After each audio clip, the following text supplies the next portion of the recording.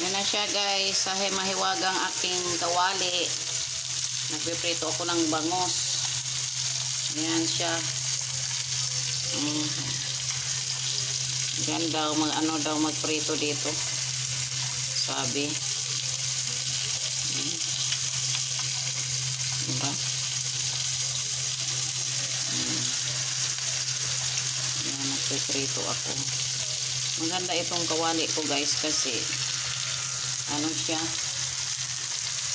Hiwagang kawali daw ito sabi ng anak ko. Kunting mantika lang siya. Yan. Ikutin mo lang kasi medyo ano. Maluluto na siya kunting mantika lang. As in, pwede ka mag-ihaw. Lahat. Sa TikTok ko yan siya nabibili.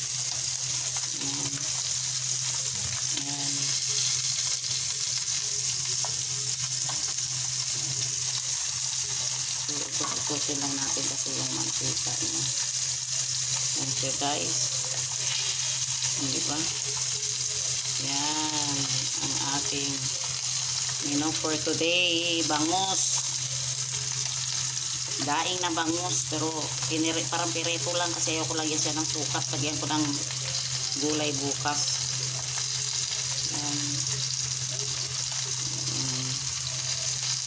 Yung sa 50 pesos na bangus na ganyan, pwede nyo siyang hatiin sa tatlo. So, pwede siyang lagyan ng gulay, malunggay, or what para dumami.